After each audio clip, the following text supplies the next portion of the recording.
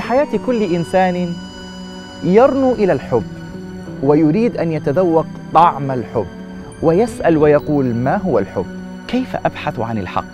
وكيف أبحث عن هذا المقام؟ وكيف أبحث عن محبوبي؟ أمنا عائشة رضي الله عنها وأرضاها تقول يا رسول الله ما هو حبي عندك؟ صف لي هذا الحب فقال حبك في قلبي كالعقدة في الحبل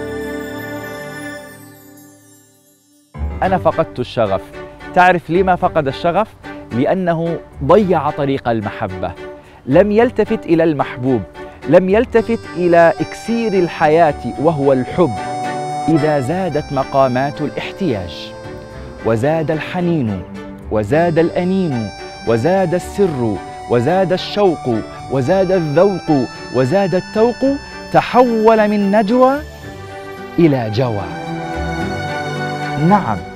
الهائم في المحبوب يقبل محبوبه جملة وتفصيلا لا يكره منه شيء يقبله بكل ما فيه بل ويتحول نقده له من نقد سلبي إلى نقد إيجابي. صدق من قال هو الحب فاسلم بالحشا ما الهوى سهل؟ ما اختاره مضنا به وله عقل وعش خاليا فالحب راحته عناء فأوله سقم وآخره قتل. هذا هو الحب